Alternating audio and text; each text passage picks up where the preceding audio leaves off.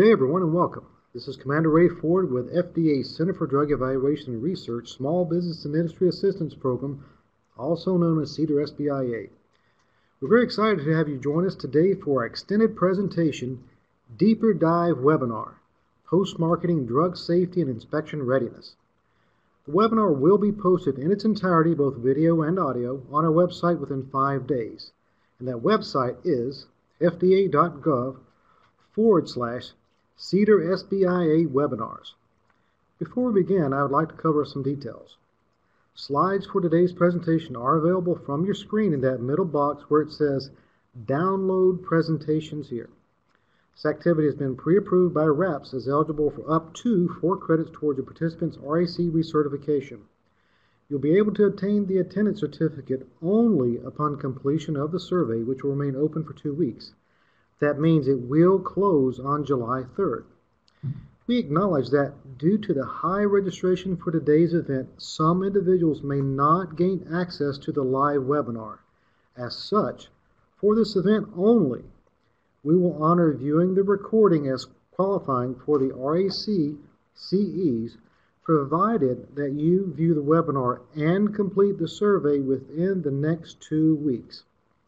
Even if you don't need the certificate, we'd appreciate it if you let us know your comments and feedback via the survey.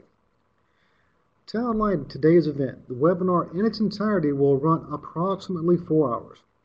We'll have three sessions with two Q&A panels, one in the AM and one in the PM. We'll break for 15 minutes between sessions one and two.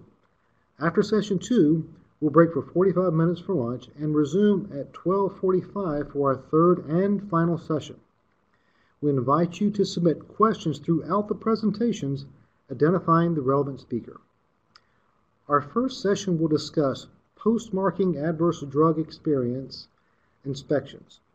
And our first speaker is Kelle Simms, PharmD, MS, BCPS, Commander, United States Public Health Service, Consumer Safety Officer, PADE Compliance Team, Office of Scientific Investigations, Office of Compliance. So let's begin. Welcome, Commander Simms. Thank you, Commander Ford.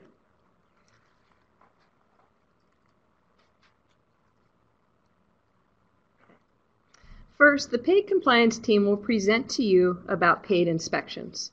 The presentation will be followed by the REMS compliance team presenting to you about REMS inspections, and the final session from our post-marketing compliance team will discuss readiness for our program's inspections.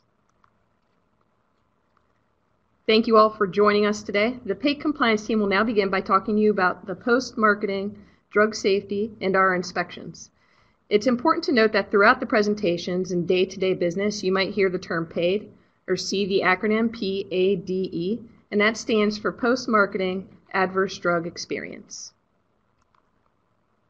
Over the next hour, we'll discuss a number of important topics such as PADE laws and regulations, written procedures, what we look for in contracts or agreements with business partners, and electronic reporting.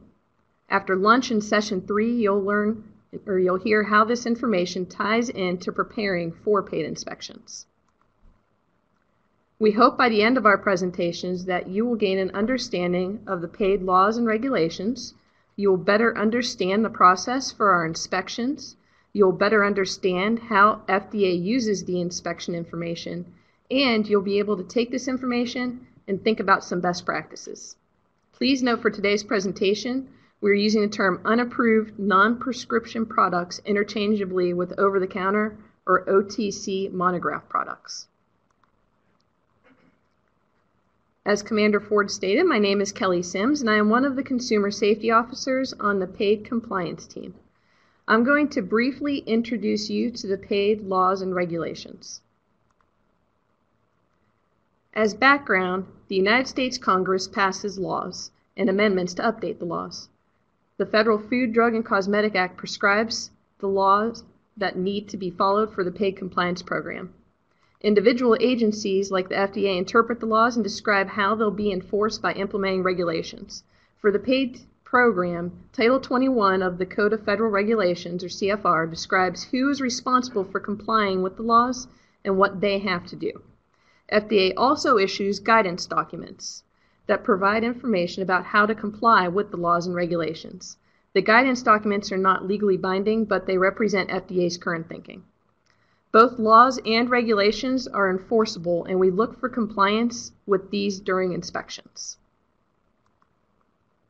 For reference, we've included three slides of laws and regulations that we refer to for post-marketing safety activities. This first slide may be referenced for prescription human drug products laws and regulations.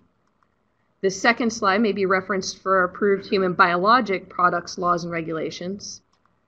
And this third slide may be referenced for OTC monograph or unapproved non-prescription human drug product laws. And I'm now going to turn the microphone over to Diane Bruce, PharmD, who's a member of the PADE compliance team.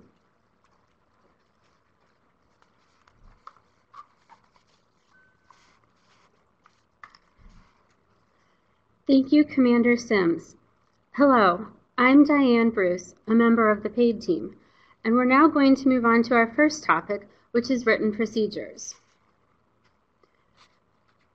PADE written procedures are required by law for all approved NDA, ANDA, BLA, and unapproved prescription drug products. They are not required for OTC monograph products, but are still considered a best practice. Please pay attention to the requirements for written procedures. Many of the recent PADE warning letters have been issued for failure to develop adequate written procedures.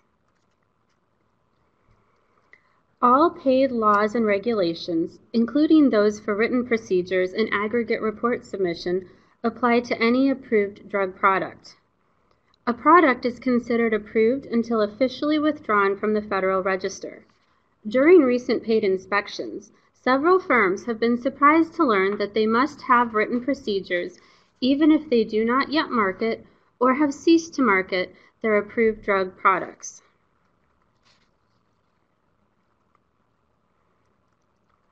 Written procedures must address adverse drug experience, surveillance, receipt, evaluation, and reporting.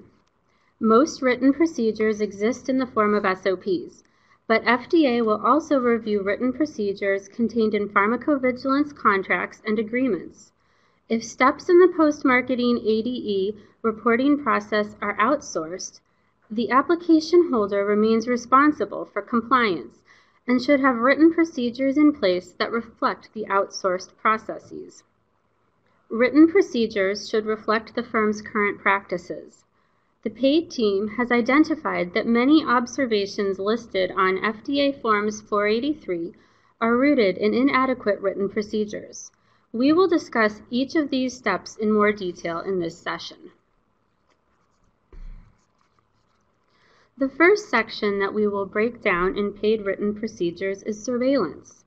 A firm must have written procedures to monitor for adverse drug experiences. Adverse drug experiences, or ADEs, are any adverse events associated with the use of a drug in humans, regardless of whether the firm considers the adverse event to be drug related and whether it is ultimately submitted to FDA. ADEs can include drug overdose, drug abuse, drug withdrawal, and a lack of drug effect. ADEs are valid and reportable to FDA when a firm can identify a patient, a suspect drug, an adverse event, and an identifiable reporter. If a firm cannot identify all four data elements of a valid ADE, the firm should endeavor to obtain the missing information so that it can submit a valid ADE. When a firm receives additional information on an already submitted valid ADE, the new report is called a follow-up ADE. Please note that an ADE can be either spontaneously reported to the firm without the firm prompting or solicited, study, by the firm. A firm must address surveillance for both spontaneous and solicited ADEs.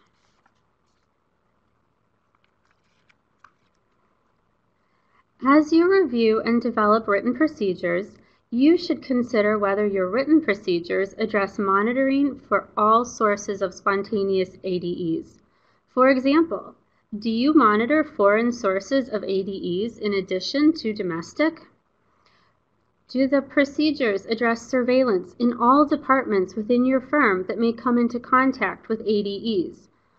The legal department, the operators of firm sponsored social media sites, and the tech team responding to contact us boxes, for example, can all encounter ADEs. Do you review complaint reports and lack of effect reports for ADEs? Do you receive ADEs from patients, relatives, and healthcare providers? Do your written procedures account for reconciliation with all specialty pharmacies that dispense your products? Do you have contracts in place to regularly reconcile ADEs with or audit business partners to ensure that you are receiving any and all ADEs that they receive. Business partners will be discussed in more detail later in this presentation.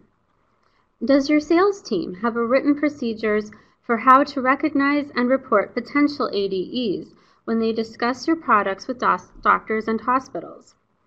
Do you search scientific literature? What search criteria do you use to ensure that you find all ADEs reportable by you?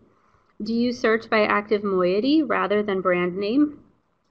These are just a few of the many, many sources that you will need to consider.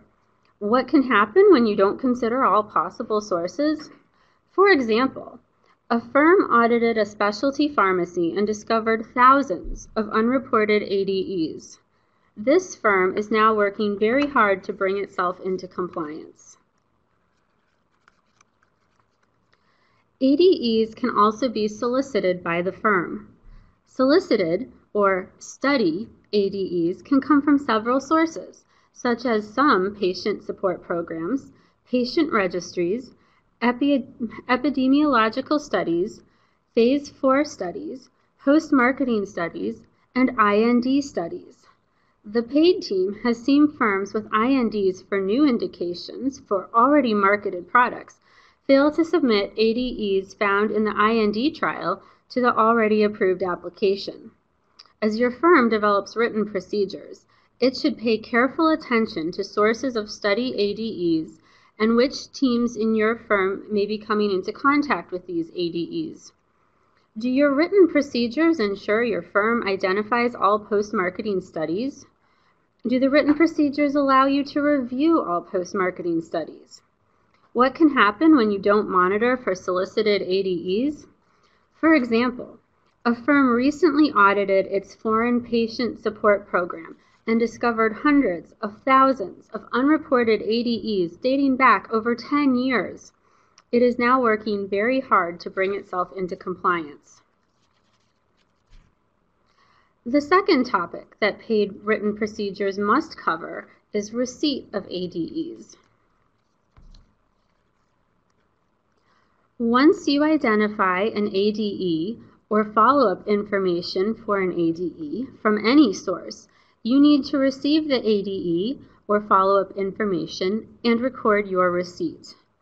Written procedures should ensure that as many ADEs as possible that are received are valid and contain the four elements necessary to be reportable to FDA. If you do not obtain all four data elements, for example, perhaps a patient emails you an incomplete ADE, then your firm should have written procedures to follow up on the invalid ADE. Be sure to document your follow-up attempts. In addition to obtaining the four elements of a reportable ADE, your firm should have adequate written procedures to identify and record the initial receive date. This is the day that you, or anyone acting on your behalf, receives an ADE. This means that if your legal team receives an email after hours on Friday, does not open the email until Tuesday, and does not send it to you until Saturday, your firm must record Friday as the receive date.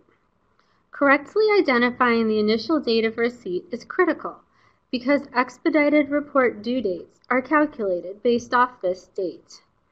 When developing written procedures, your firm should consider whether you reconcile with partners frequently enough to ensure that all ADEs can be received timely. As you can see in the middle of this slide's graphic, written procedures must ensure proper documentation of all aspects of ADE receipts. I'm now going to turn the presentation over to Namita Kothary, and she will continue with evaluation.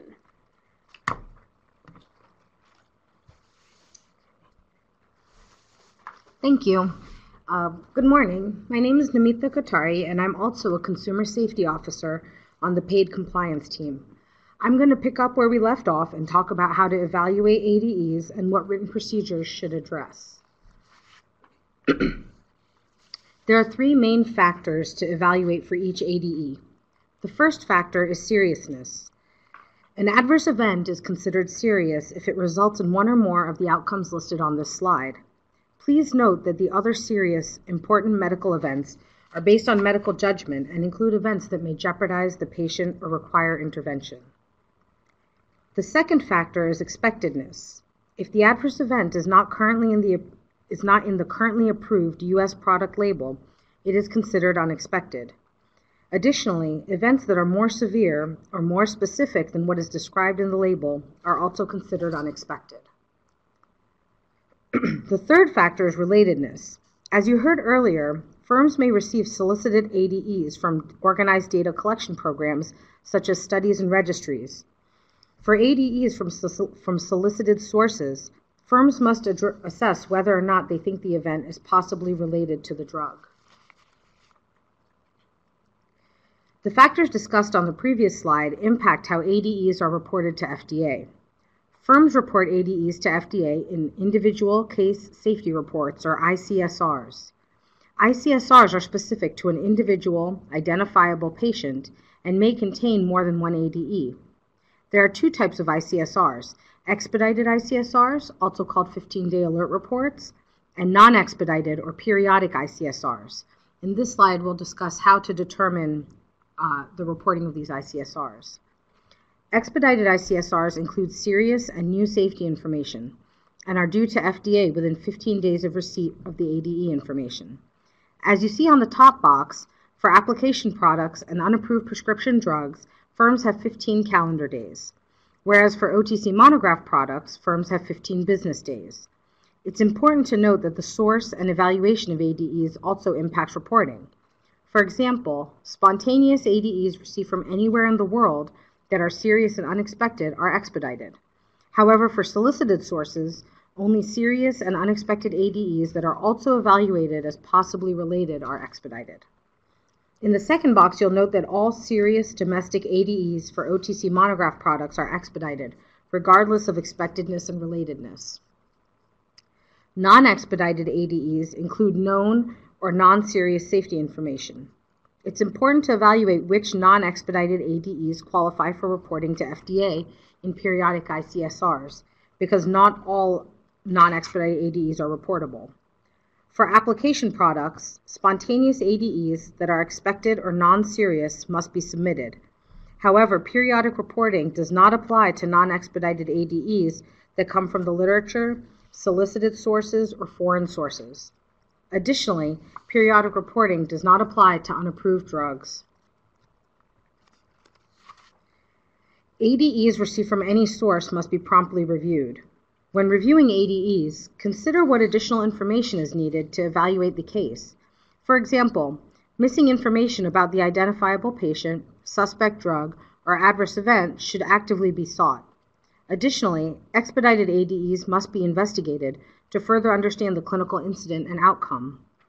Firms must maintain records documenting their attempts to obtain additional information, even if they are unsuccessful. Evaluation also encompasses assessing ADEs for reportability to FDA, as discussed on the previous slide. The date when the four minimal data elements are available is considered the initial date of receipt for reporting purposes. While firms investigate ADEs, the initial report should still be processed in order to meet the required timeframes for reporting. In summary, written procedures for evaluation should describe who evaluates the ADEs, how the need for follow up and follow up attempts are documented, how, and how evaluations of reportability are made and documented. And the last step of our process for surveillance, receipt, evaluation, and reporting is reporting. So firms must have written procedures for reporting ADE information to FDA. This section covers different aspects of what needs to be included, how to report to FDA, and what written procedures need to address. So who's responsible? Both application holders and non-applicants listed on product labels as manufacturers, packers, or distributors have PADE reporting responsibilities. Applicants have to report expedited ADEs to FDA within 15 days. However, non-applicants listed on the label have a choice. They can either report all serious ADEs to the applicant within five calendar days, and then the applicant handles it from there, or they can send the expedited ADEs directly to FDA within 15 days. Written procedures should address the method and timeframes for reporting ADEs to FDA or the applicants. Additionally, if firms have any business arrangements with other firms, written procedures and pharmacovigilance agreements should clearly address who has ADE reporting responsibilities. Regardless of the type of product, firms must submit ICSRs to FDA containing ADE information. Firms that hold NDAs, ANDAs, and BLAs must also submit aggregate reports of safety information, that's shown on the left of this chart. There are two types of aggregate reports, annual reports and periodic safety reports. Periodic safety reports include the Periodic Adverse Drug Experience Report, or PADER, as described in the CFR. However, FDA also grants waivers allowing firms to submit periodic safety information in the Periodic Benefit risk evaluation report format. Please note that annual reports and periodic safety reports are two different submissions, and application or license holders are required to submit both. On inspection, we do note that some firms only submit one of these. Per the electronic reporting rule, all submissions to FDA, including the ICSRs and aggregate reports, must be in an electronic format that FDA can process, review, and archive. As mentioned on the previous slide, all ICSR submissions to FDA must be in an approved electronic format. The options are to submit in E2B format over the electronic submission gateway or via an internet-based form on the safety reporting portal. You'll hear more about electronic reporting later this session.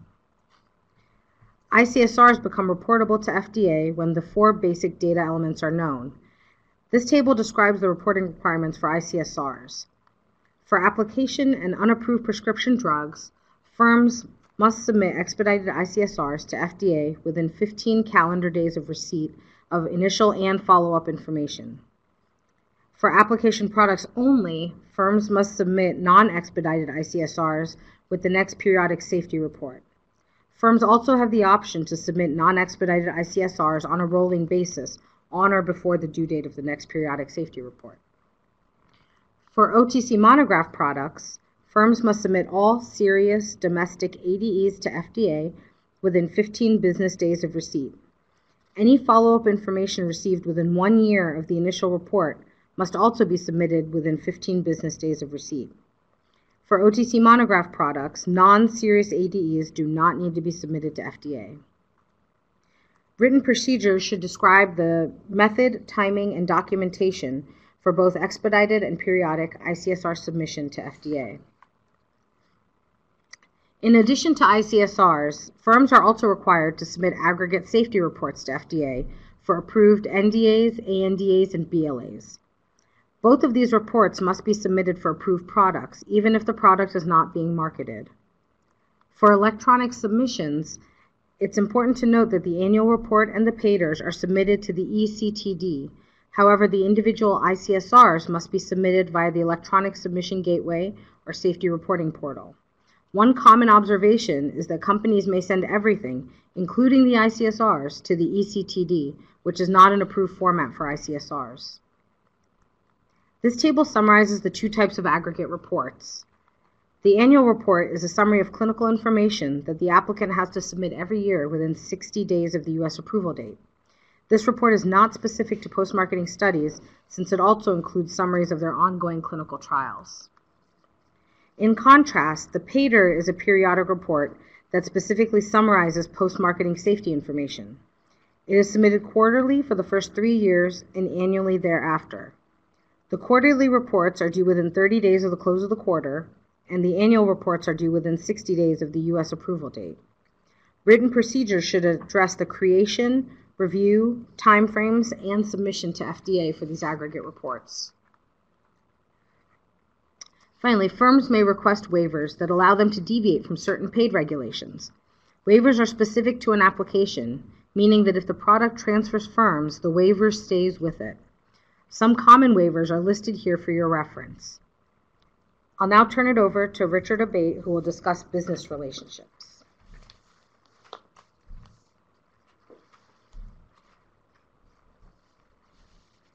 Hi, my name is Rick Abate, and I'm the team leader for the PADE compliance team. And we're going to talk about business relationships and, and agreements. So we're moving on to business relationships that affect the process and flow of post-marketing drug safety information. We find it a common business practice for responsible firms to hire contractors that specialize in pharmacovigilance activities to, to complete the required functions of surveillance, receipt, evaluation, and reporting of post-marketing drug safety information. As the current regulations are silent on this practice, you may think, what compliance issues could we see with these activities when these activities are outsourced. The main issue that arises from this practice is the responsible firm maintaining oversight of the activities completed by the pharmacovigilance vendors. The next slide will discuss the importance of this issue. When any step of the pharmacovigilance process, while any, when any step can be uh, contracted out, the PADE regulations do not provide for the transfer of pharmacovigilance responsibilities to the contractors. In other words, the applicant holder or non applicant named on the label remains responsible for compliance with the PADE regulations. It is my experience that all pharmacovigilance vendors do not provide the same level of service. We have seen applicant holders relying only on the vendor for PADE co- compliance. This has resulted in observations and warning letters in the past. Therefore, it is in the responsible firm's best interest to maintain oversight of the contractor and build that oversight into your work agreements or contracts. Should the pharmacovigilance vendor fall out of compliance with the U.S. PADE regulations, the regulatory consequences may fall back to the responsible firm.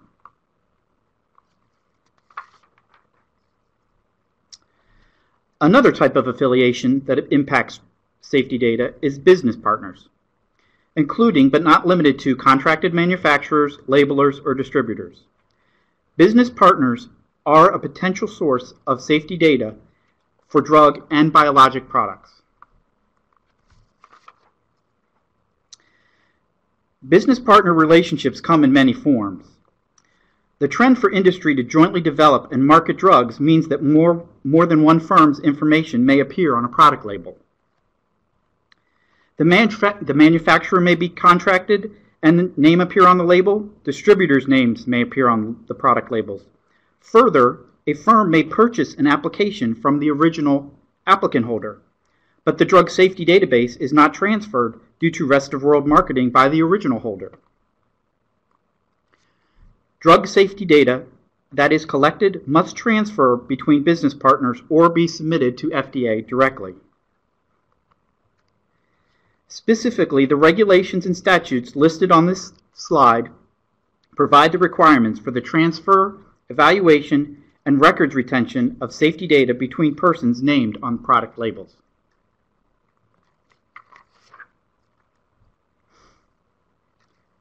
Contracted manufacturers, labelers, or distributors whose name appear on the labels are considered a source of safety data. There must be written procedures, also referred to as agreements, contracts, or work orders, with business partners who may receive drug safety data. These agreements may be referred to as drug safety data, drug safety data exchange agreements, or pharmacovigilance agreements. The agreements facilitate the exchange of safety information between business partners to best ensure the required safety data is provided to FDA and, if warranted, to each other.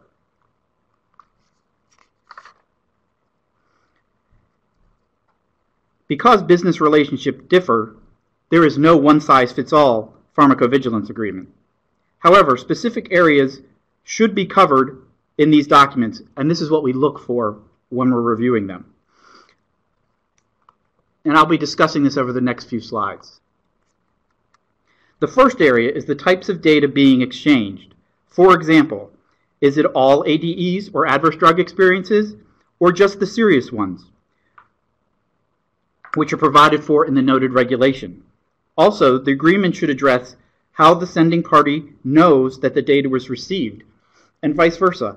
How does the receiving party know that they have received all the relevant safety data the sending party has to provide?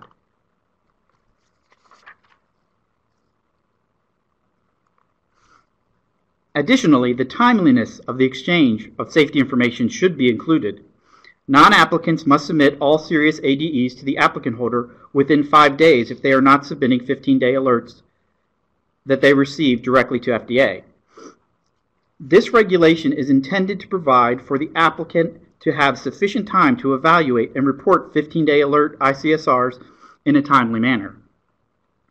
We have also seen applicant holders contract business partners or other, other affiliates more experienced in creating periodic aggregate safety reports such as PADERs or PBERs, to prepare the required documents.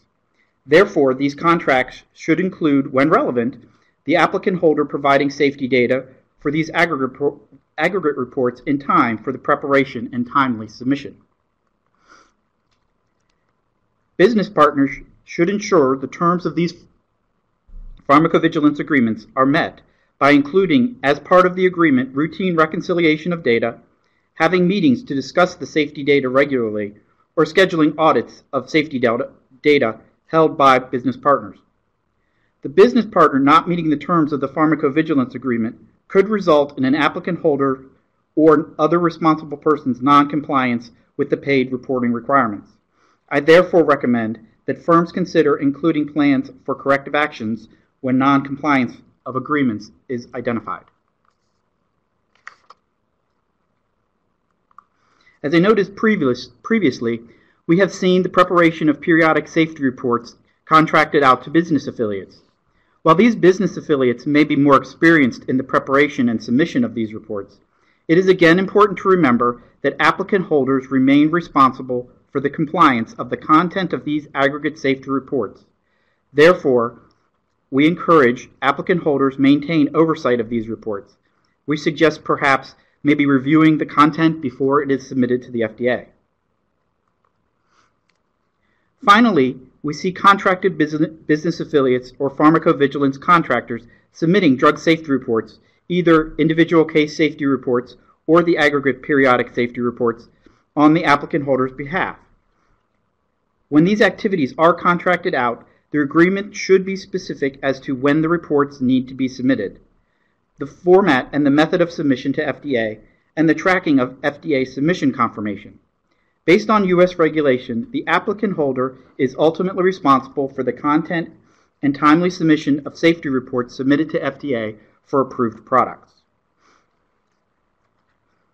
Next up is Suranjan De, the, direct, the Deputy Director of the Regulatory Science Staff in the Office of Surveillance and Epidemiology.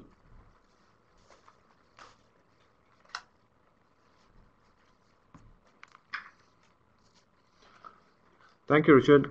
Uh, today I'm going to talk about uh, electronic reporting of individual case safety reports. Uh, we heard all about the regulations. Now I'm going to see how uh, a firm would submit this uh, ICSRs. So we're going to understand in the electronic reporting of individual case safety report in my talk uh, to outline the topics I have, uh, we first need to understand what FAERS is, which stands for FDA Adverse Event Reporting System, uh, why we need the electronic ICSR submission, and the submission methods, the submission of periodic safety reports, and then the future state of electronic submissions. And then we'll go see some references. So what is FAERS? So FAERS is FDA's post-market safety surveillance database for drugs and therapeutic biologics. And it's, this database is used to monitor uh, safety data for to analyze, monitor, and and identify adverse event and medication errors. Uh, FDA staff in CDER and both CDER and CBER they regularly examine this FAERS database as part of their routine safety monitoring. And when a safety signal is identified uh, from FAERS data, it is then um, further, it's then taken for further evaluation. so FAERS is our FDA's uh, adverse event reporting database. So this is all this where all the data which is submitted comes and resides in FAERS. So let's see how it comes into FAERS.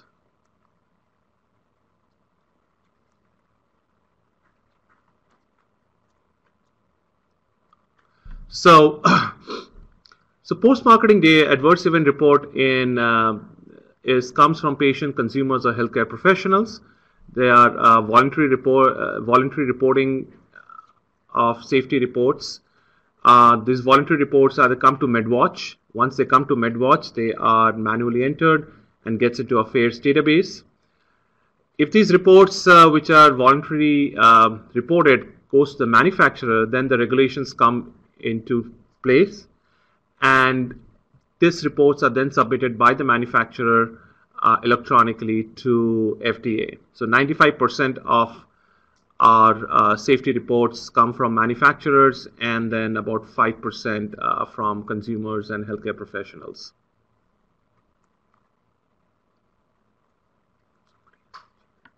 Okay. Uh, next, uh, what are these reports we have in FAERS database? So we have reports for medication errors, uh, adverse events, and product problem resulting in, uh, in an adverse event. And these are for drugs and therapeutic biologics, for CDER, and then we also keep uh, tissue products, therapeutic blood products for CBER in the FAERS database.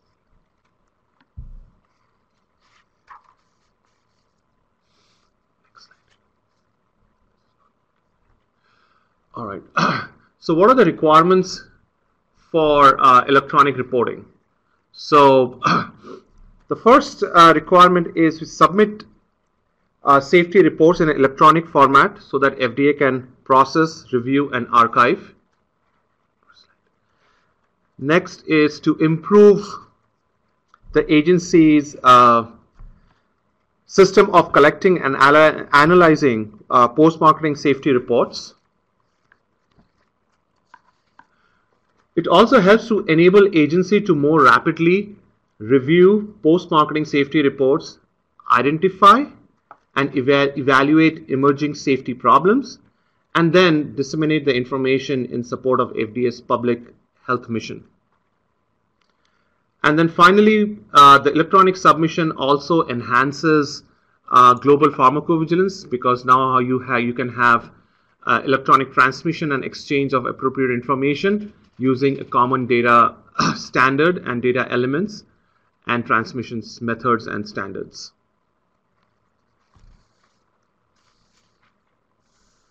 Uh, the regulation for uh, the electronic reporting uh, is available in the Federal Register. Here's the link below. Uh, and now we'll see how these reports can get into FAERS and how these reports can be submitted by firms and look at the submission methods. So going to the next slide, we'll see that there are two options for uh, submitting ICSRs. One you see at the top, which is the safety reporting portal, and at the bottom, which is through the database to database transmission through E2B standard, which is the ICH E2B standard. So looking at the database to database, uh, this standard we use the ICH E2B uh, M or the R2 data standards. Um, we have uh, a few regional requirements in there and that can be found in one of the references. Uh, these ICSRs are submitted in XML format and then attachments must be in the PDF format. And the attachments are basically if you have a literature report, you have the literature article which you need to submit and they uh, must be submitted separately from the XML. Uh, the safety reporting portal. So this is a portal website. It's a web-based uh, uh, form. In first, in order to access this form, uh, or you have to log in. And in order to log in, uh, the best way is to submit a email to affairs esub at fda.hhs.gov. It's also available, information is also available on the fda.gov website. Now, what does the portal do? The portal is a web-based screen. Uh, it enables uh, direct access to submit a report directly from the portal. It's based on the MedWatch form. Uh, you don't users don't have to have gateway partnership, and uh, attachments can be directly attached uh, to the report and then submitted. In both cases, when you submit the report, you have uh, for the E2B, you get an acknowledgement back. Typically, these acknowledgements come in about two hours from your submission, and the acknowledgement will say is a positive acknowledgement or a negative acknowledgement. Positive acknowledgement indicates that the report was accepted, and the negative acknowledgement that's that there was some errors in that report. Uh, typically, for gateway submission, you get two acknowledgement. The first one is that the the, uh, the firm has submitted to the FDA ESG, which is the Enterprise Submission Gateway. You get the first acknowledgement, which is also called the MDN. And then finally, once FAERS accepts it, you get the second acknowledgement, which says that the data was uh, accepted. From the safety reporting portal, that's uh, that's much more easier because you have a web-based form, and at the end there's a submit button. You click on the submit button, and it tells you the report was submitted successfully and that becomes your FDA uh, submission date.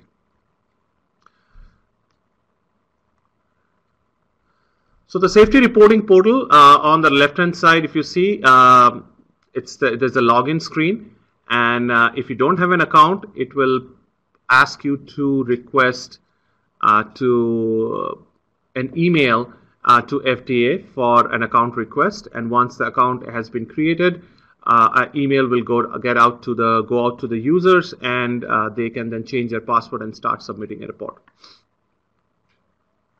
Oh, one important thing to note that if you are in the safety reporting portal, if you want to submit through that, it takes about seven business days to get an account. So if you have a report which you know you're going to be submitting or you know that your product just got approved and now you're going to have the first uh, adverse event report, uh, please request for an account way ahead of time so that you have the account and not scrambling at the last moment to submit that report. So submitting uh, periodic safety reports, these are to be submitted, the individual ICSR are to be submitted to FAERS um, and the and the descriptive portion to ECTD. And you could submit the, the ICSRs in an ongoing basis and not have to wait for uh, the 60 90 day period and one most important thing to note that when a report is submitted an initial report the safety report number which you use you should continue to use the same safety report number the life of the case which means every follow-up should maintain the same safety report number because the safety report number is the number which is used for FDA to determine if it's an initial report or a follow-up report. So if the number changes, then the system will look for that number. If it does not find, then FAERS will create a new safety report number.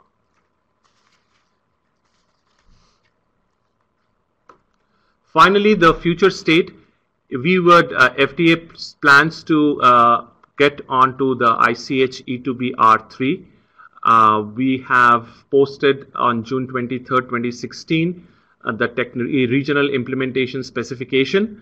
Uh, as we go through the implementation, this specification definitely will have some uh, updates.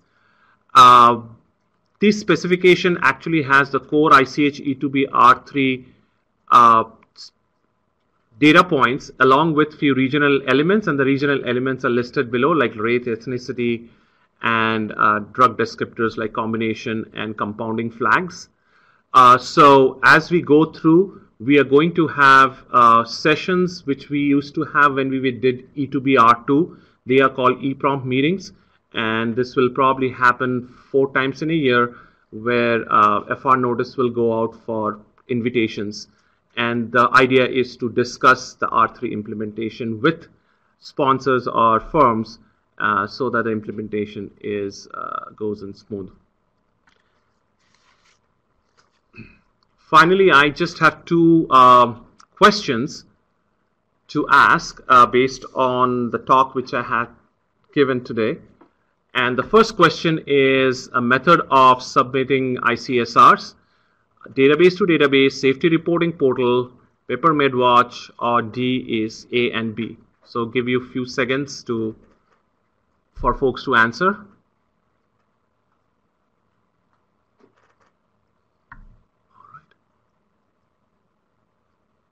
Okay, so the answer is uh, right. We have A and B. So you have you can do through safety reporting portal through or uh, through the database to database. Next question, true or false? Periodic reports are comprised of two parts, the descriptive portion and the non-expedited ICSRs.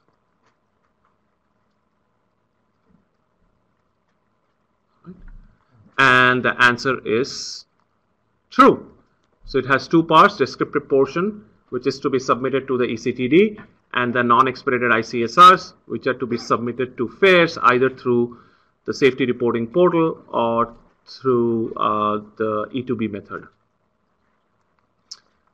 Finally, these are all the references of uh, most of the topics which I talked today. Uh, these are all referenced here, how electronic submission is to be done, what are the rules, the specification, how do you prepare your ICSRs, and, and then how do you submit to the ECTD. So with that, I will hand it over to Ray for the questions and answer sessions. Thank you. This is Commander Ray Ford, we'll now transition into our first Q&A panel. We invite you to continue submitting your questions, identifying the relevant speaker. We'll begin in a few moments.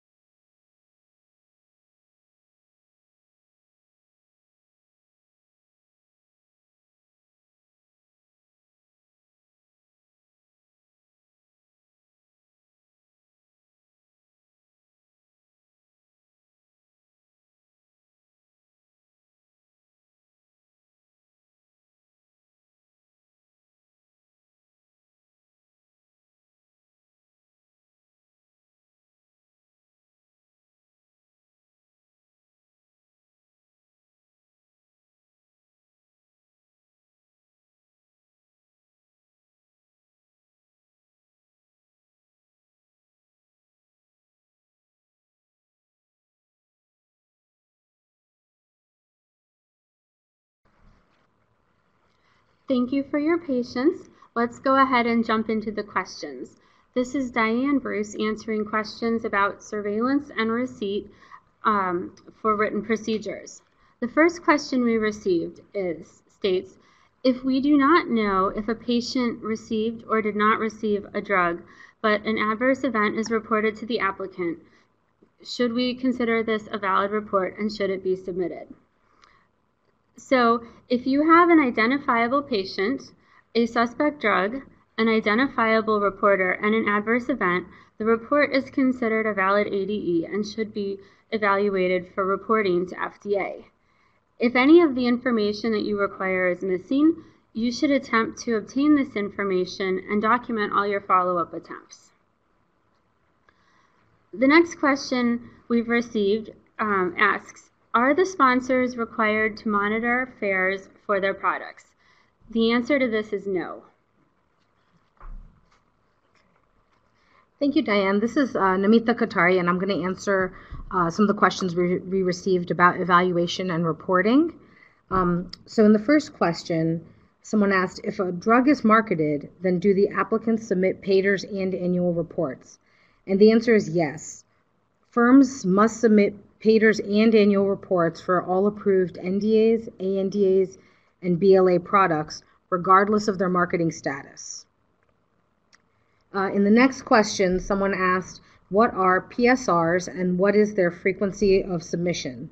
So PSRs are our general broad term that we use to as periodic safety report, and it covers two types of periodic safety reports. The first one is the PADER, the Periodic Adverse Drug Experience Report, which is in the U.S. FDA's the CFR, and the second one is the is an internationally used format called the P, PBRER, the Periodic Benefit Risk Evaluation Report. And the frequency, by default, uh, for what's provided in our CFR, is that it's based on the U.S. approval date, and firms have to submit the PADERs quarterly for the first three years and annually after that. However, firms can apply for a waiver if they want to submit it based on a different date, for example, the international birth date, and they can also submit a waiver to submit it at, at a different frequency for example, we see waivers for every six months. Um, we received another question um, regarding ICSR submissions. If an MAH submits ICSRs, 15 day alert reports, on day 15 electronically, but receives submission acknowledgement from the FDA on day 16 or later, will this report be considered as late by FDA? And the answer is no. The firm should maintain documentation of when the ICSR was submitted to FDA, and that's what we'd look at. Um, we received another question about um, receiving an adverse event report with multiple drugs. So, in this question, many times a patient is receiving several drugs. However, a firm receives an ADE just listing their drug only. How do they firm, however, they firmly believe that it is not due to any of the other co administered drugs and just their drug only. Please suggest a path forward. So this question really highlights the importance of having written procedures for um, evaluation because it depends on whether or not this report came in through a spontaneous pathway or a solicited pathway. For spontaneous reports, there's an implied causality that the reporter believes that the drug caused the adverse event, and that's why they're reporting it to you. So all serious and unexpected ADs from spontaneous sources are expeditable. However, if it is solicited, then the firm does have to make a causality assessment and only report cases that they believe are possibly related to their drug as expedited reports. And so those are uh, some of the questions we received. We're going to turn it over to Rick Abate to answer some of the business relationship questions.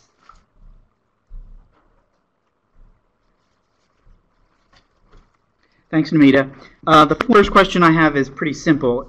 Uh, can SDAs and PVAs or pharmacovigilance agreements be included in a quali- quality technical agreement? And the answer is yes, they can. However, you uh, want, wish to do that and make it as simple as possible, that is, that is pop- you could do that. Um, another question is Does email confirmation of receipt count as reconciliation?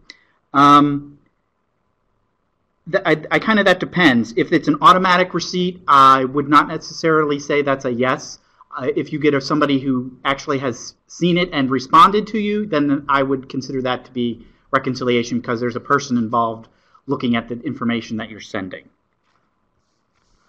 Um, then there's two questions I'm going to kind of combine because they're related. Uh, so it says is if a non-applicant sends an expedited report to an applicant within five days, does the applicant have 10 or 15 days to submit to FDA? The clock starts when the ADE is received. So if the non-applicant and the applicant are business affiliates, it's the date. The clock starts when the non-applicant receives it, and therefore um, there's a total. The they would have 10 days after they get it uh, if the non-applicant submitted it at five days. So the total clock is 15 days uh, from when the non-applicant receives it. Um, however, you will see situations where non-business affiliates will send you a 15-day alert report. If a non-business affiliate sends you a, a, a 15-day alert report, then it's your receive date. So it's your date of awareness is when your, your clock starts. Ranjan, you want to answer some questions?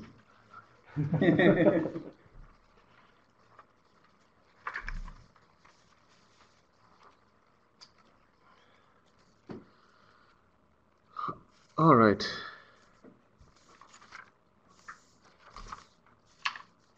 Looks like I have the most number. All right, so first question, uh, how does uh, pharma access FAERS? uh, is this a subscription or a cost? So, uh, based on this presentation, uh, of course, uh, we didn't talk anything about uh, about this part, but uh, but FAERS FT actually has three methods. One is the FAERS public dashboard, which was launched last year September. it has got data from 1968 to March 31st, 2018. Um, this is a very interactive dashboard, and uh, and once you go into the dashboard, you will be able to search for your product, and then be able to see line listing. These line listing also can now be downloaded, um, and if and if you need more detailed information about the safety reports, then uh, the best way is to do a Freedom of Information Act FOIA request. Uh, please note that all the, this data which is in the dashboard is redacted, so which means a very limited number of data fields are, uh, are posted.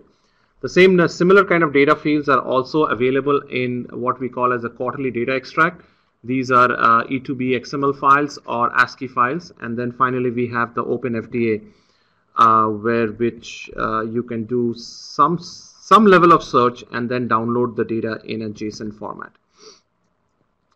Another question, uh, can SRP be used as a disaster, disaster recovery, recovery uh, business continuity system for applicants submitting electronically via E2B? Uh, and the answer is once uh, a, firm has moved into E2B, they cannot go back to the safety reporting portal. Uh, a next question is a firm is transitioning from SRP to E2B, any recommendation. Uh, so the website, uh, fda.gov, and our website electronic reporting has got the steps of how to transition over. Uh, the accounts you need to get, and if you're through a partner or a CRO, then the kind of um, they will probably have an account. You have need to test your files, and if you have any questions, you can submit that to FAERS esub at fda.hhs.gov. Uh, another question is uh, if an ICSR is uploaded to SRP, does it also needs to be included in the PADER? And the answer is no. Uh, and I will take two more questions. Uh, there's one question which talks about uh, uh, for is there a similar portal? There is a site where uh, application which companies can download called eSubmitter uh, because VAERS only accepts uh, E2BR3 and that can be then uh, submitted by uh, used and downloaded. The software can be downloaded and then you can submit an ICSR for VAERS. And I think these are the questions. some of the questions which I have, we need to get back to you. Thank you.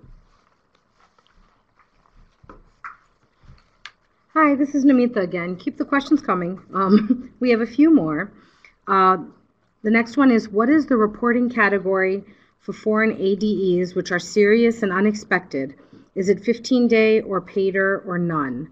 And we've had a couple questions like this. So for foreign ADEs, if it is a serious and unexpected ADE, it is reportable as a 15 day alert report. If it is not serious and unexpected, there's no requirement to report that to FDA for, for ADEs arising from foreign sources. In another question, we have Do generic sponsors have to perform scientific literature searches for ADEs? Uh, literature searching is not required. However, if you do it and you become aware of an ADE, you have to handle it um, as an ADE. So, as a reminder, any ADE that is serious and unexpected from the literature is reportable as an expedited report. If it is not serious and unexpected, then it is not reportable to FDA.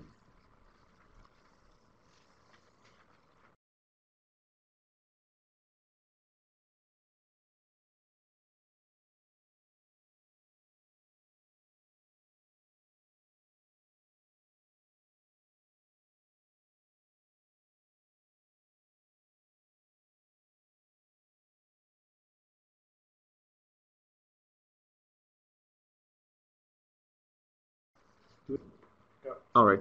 I can take two more. Uh, one question here for non-serious AD should be submitted in next PADER report and not through SRP. Uh, what format it has to be submitted through ESG. So all individual ICSRs must be submitted either through the SRP or through ESG. If you're submitting through ESG, then the format is to use the ICH E2B R2 format. And is there a date that R3 will be mandatory for FDA submission? So we FDA has still not started the implementation for E2B R3. Um, I think the three organizations I know who have started is Europe, Japan, yeah, Europe and Japan. Um, so FDA is still yet to start the implementation, so we don't have any any any timeline uh, set for when it's going to be mandatory. Thank you. Okay, and now we'll turn it over to uh, Rick Abate. Okay, we have a few more questions. Um, there's a question about should requests for waivers to submit PBERS be submitted to the NDA or to the Office of Compliance? Um, they can be submitted through the NDA, but they have to be submitted addressed to the Office of Surveillance and Epidemiology in CDER to be considered. Um, they they uh, approve the waivers for post-marketing um, adverse drug experience reports.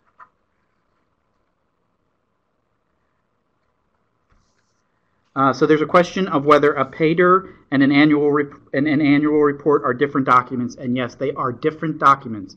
One is covered under 31480 uh, 23C, and the other one is covered under 31481B. So they're two different. They cover they're covered under two different uh, regulations, and the content of each is discussed in each regulation.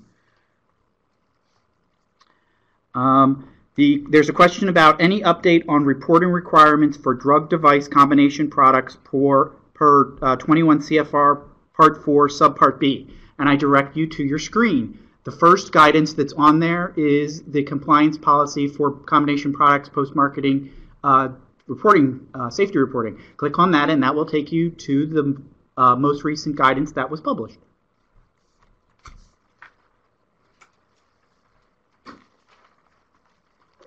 Just a reminder, if your question was not addressed, please resend to CDERSBIA at fda.hhs.gov.